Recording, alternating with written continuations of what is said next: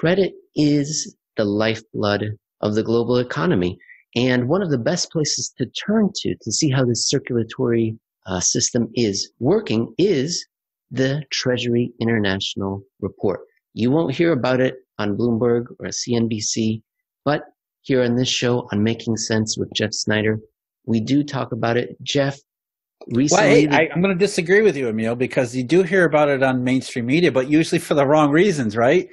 Whenever you hear TIC, it's oh, foreigners are dump, dumping treasuries. They hate the they hate America. They hate Trump. They hate you know they hate something. They hate dollars. They're de-dollarizing. So usually when you do hear about TIC, it's always for the wrong reasons. And as we've stated before and we've shown before, when foreigners are selling treasuries, that's not a that's not a bad sign for treasuries. That's a bad sign for everybody. That means dollar shortage. That means all the bad things. So when we look at Treasury International Capital TIC report, we're all, we have to really we have to realize and normalize it and, and, and, and put it in a framework that it can be interpreted as the data is actually showing. And really, we got to be careful here. And, and I, I, try to I try to say this uh, as many times as I can. It is not a comprehensive view of what's going on in the global dollar system because there is no such thing. There is no comprehensive view. We only have the data that we have, which in this case, which we're, we're going to talk a little bit about, I think, the Treasury part of it, but mostly we're going to talk about cross border bank activities, what U.S. banks are doing in relation to their foreign counterparts. And in this specific instance, we're going to be talking about what American banks are lending or claims on their foreign counterparts in various jurisdictions around the world. And that's another thing. And that's that's one of the really good things about TIC is that you know we think of a eurodollar system as a monolithic system that it's it's a global system therefore it's the same in the european part or the, the asian part as it is in every other part when that's not always true. There can be some things happening in one part that aren't happening in another part and maybe that's just a difference in timing but we really have to realize that it's a because it's a global system there are definitely regional pockets and regional considerations we have to take into account too. I have just pulled up a graph from an article called redistributing a shrinking pie is nothing like a flood because there was no flood it was posted on november 18th at alhambra investments and the graph i pulled up is the one that you brought out to our attention right away the one that does make it into the mainstream financial press which is official buying or selling of U.S. Treasury bonds and notes. This data here starts from 2014, Jeff. So it suggests, it seems to say they're always selling. But if we pull this data back further, this graph back further, it would be completely different, though, wouldn't it?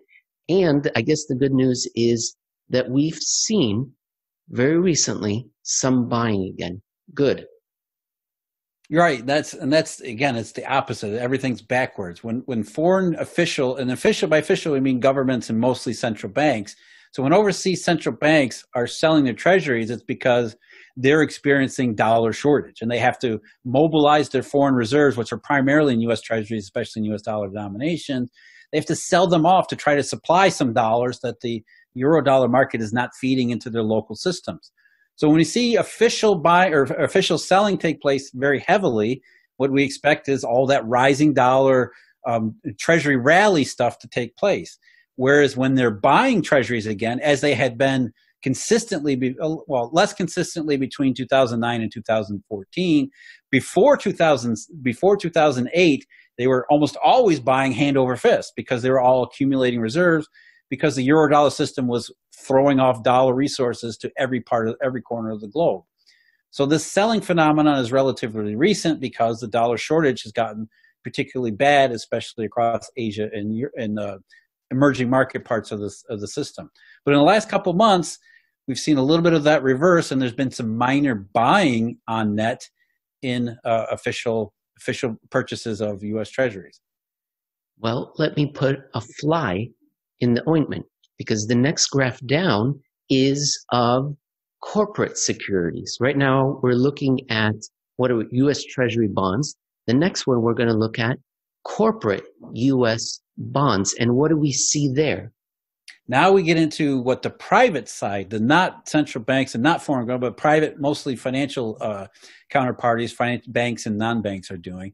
What they're doing, especially since December 2018, is more and more buying fewer corporate bonds. U.S. Remember, these are U.S. dollar denominated corporate bonds, And ever since the early part of this year, they've been really selling them.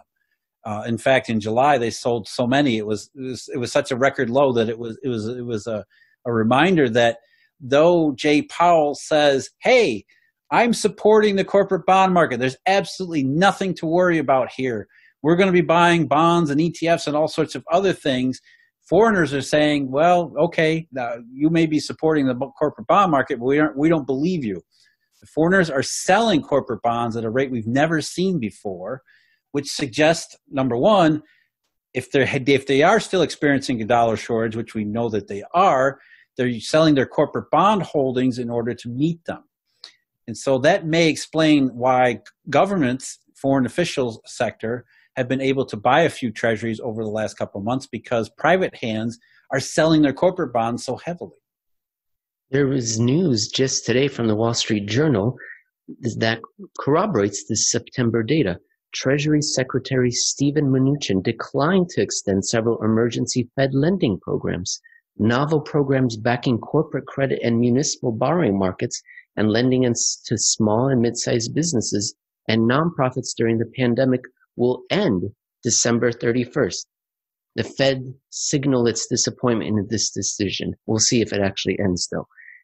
But I want to keep going now and because you said that's what we just discussed is amazing. Perhaps the audience didn't hear it. Selling at rates not seen before of US corporate bonds. But you say there's something even more interesting, and that is happening in Japan. But to do that, we have to look through the lens of China. And to do that, we've got to look through the lens of the Caribbean and Europe. Before we get to that main part of the the article, I'm going to ask you to define a couple of sentences, okay? Um, let me quote you here. Quote, for one thing, US dollar bank liabilities continue to contract as overseas dollar swaps, which aren't so much overseas, are almost totally paid back. What does that mean, Jeff? Well, it's if um, it shows up as a U.S. dollar liability because American banks or you know uh, U.S. subsidiaries of foreign parents that are located domiciled in the United States, they're the ones who are borrowing heavily of these quote unquote overseas dollar swaps. So it shows up as a cross border transaction.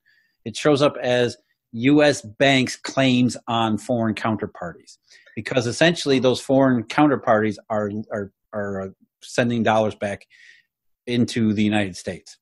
And the point being is we don't want to see US bank liabilities contracting, right? We want to see them expanding, signaling money creation, growth, reflation, recovery. Is right, so right? As, right. As they're repaying these dollar swap balances, that reduces their bank liabilities. But it, it, we're also not seeing an increase in their liabilities. Again, these are cross border liabilities. We're not seeing an increase in them for other reasons, which would be hey, things are good. We believe Jay Powell. There's a flood of dollars, whatever it is, whatever reflationary, uh, uh, uh, uh, um, whatever reflationary reason you might want to assign. We're not seeing banks expand their balance sheets in these cross-border relationships as you would expect if things were going back to normal, if we are going back into a reflationary period. Instead, in the third quarter, it was a pretty substantial decline in reported bank liabilities in these cross-border uh, U.S. dollar arrangements.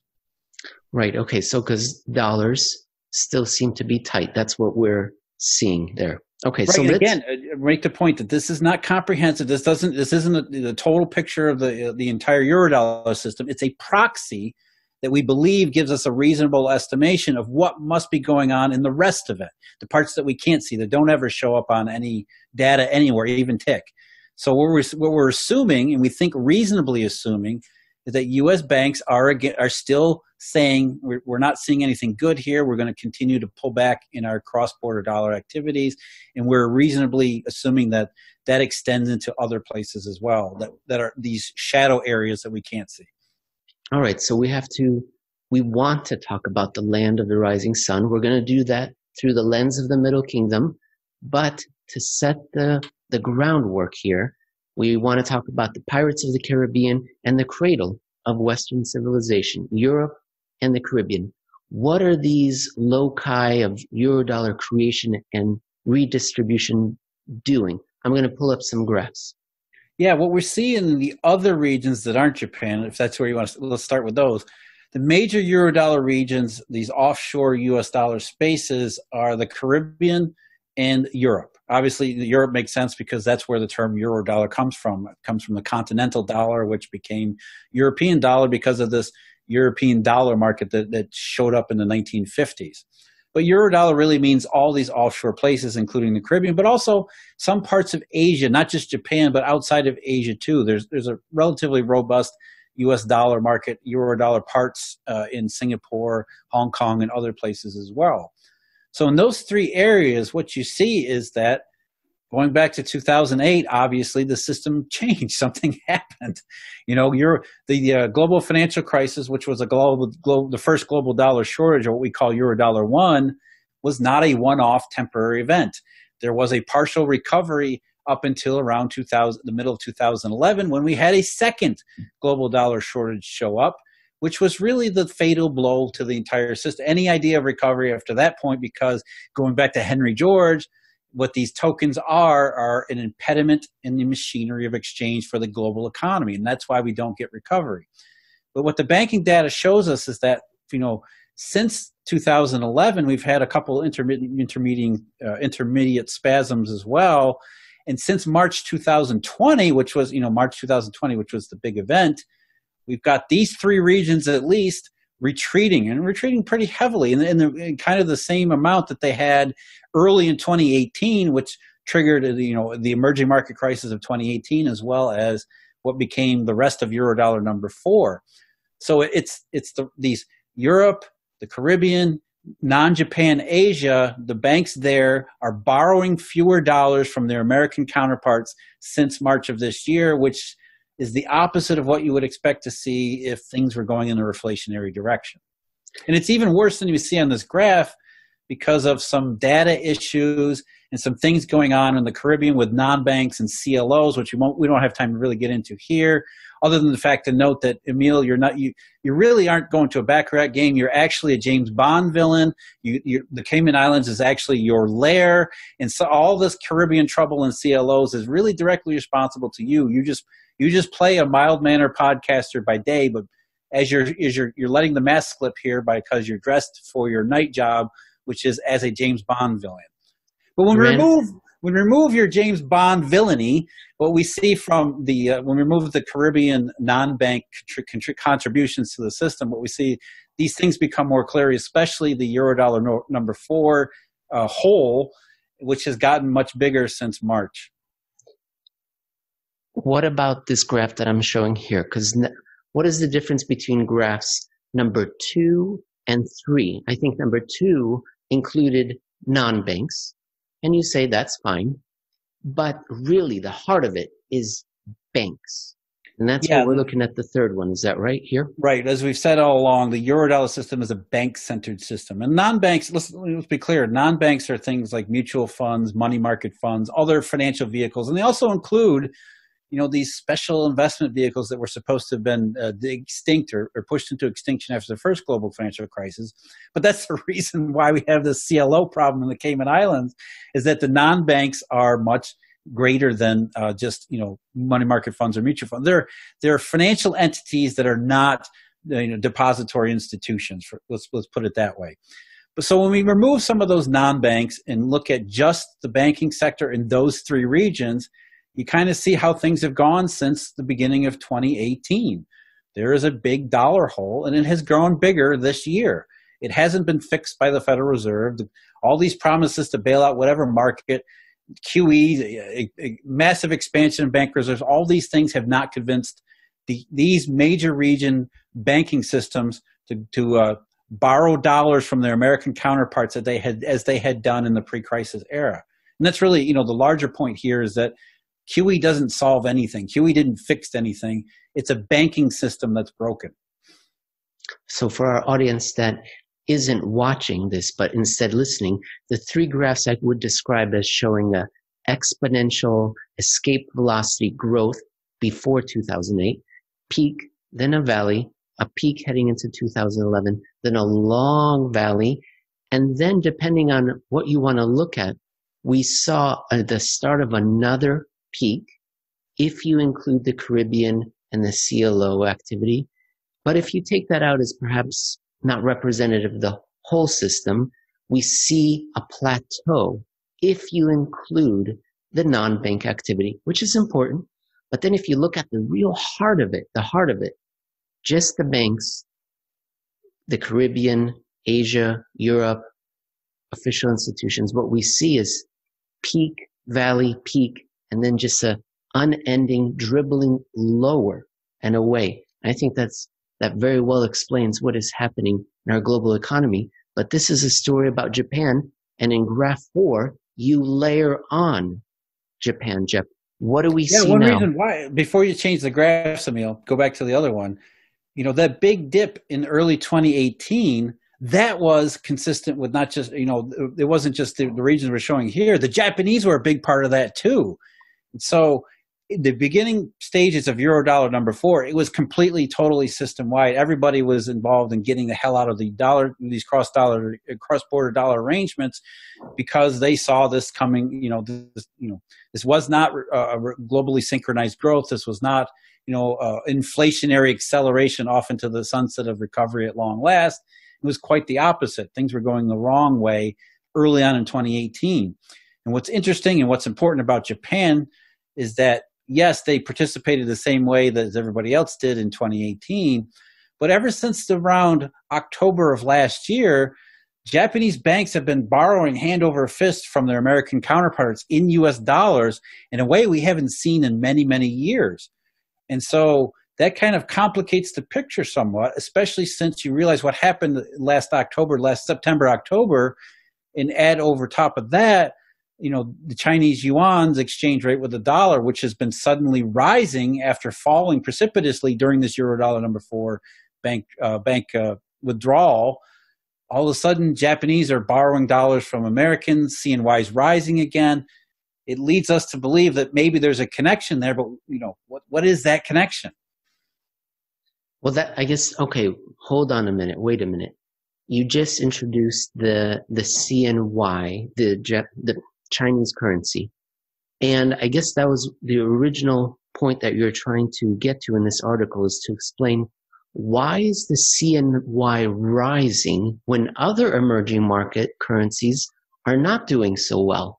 And we saw something similar in 2018, except there was a difference back then with Japan. So is do I understand it correctly? Have you explained to the audience that you think there's a connection with Japanese banks and the CNY, and how does it all get tie together?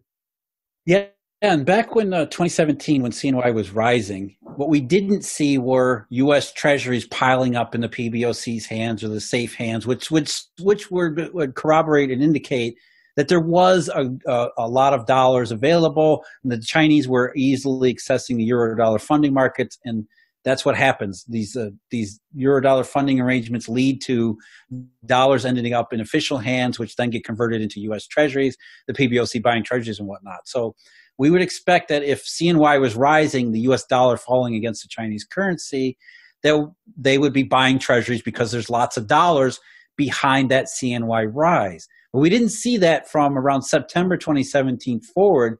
CNY kept going up, but yet there weren't the treasuries. In fact, the treasury started to fall, which kind of suggested something else was going on. What that something else was was it became euro dollar number four, this fourth global dollar shortage. But specifically with China, what we saw was Hong Kong banks suddenly started borrowing heavily from their American counterparts, and then a bunch of stuff going on with the Hong Kong dollar, how it was exactly mirroring uh, inversely the Chinese yuan's relationship to the US dollar. So it suggested that, okay, China was doing something specific through Hong Kong's banks that wasn't happening to the rest of the system. Except that, of course, that all that all fell apart in April and May of 2018 when everybody got smacked by what was this next rising dollar episode. So if we're looking back at 2017 versus 2020, we see kind of the same things again, right? We see CNY extremely strong compared to everybody else, it's it's even way outdone the euro on the upside. Yet we don't see treasuries going back into the PBOC's hands or safe or anywhere else. In fact, just the opposite. The other part of TIC that I showed in, in the article was that um, Chinese mainland holdings of treasuries have sunk to the lowest level in years. They continue to decline. So we're not seeing the uh, systemic signs of dollars going back into China that we would under reflation. So now we start to look for alternatives, what might be going on. And lo and behold, we now have this Japanese thing taking place, but it's not, it doesn't seem to be Japan as part of everybody else, you know, a, a widespread systemic reflationary event. It's just Japan when the rest of the world, the Caribbean, Europe, and the rest of Asia ex Japan are saying, no, we're not doing this dollar stuff.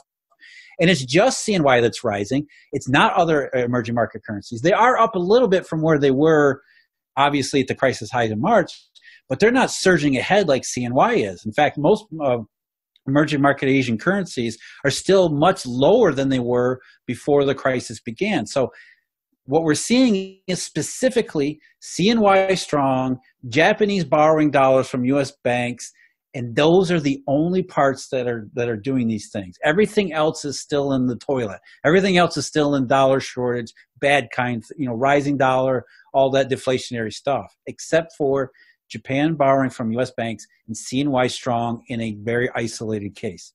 So what we're what we're what we're thinking is that there has to be a connection there because first of all we saw it with Hong Kong, but second because there's really not many other alternatives to explain this.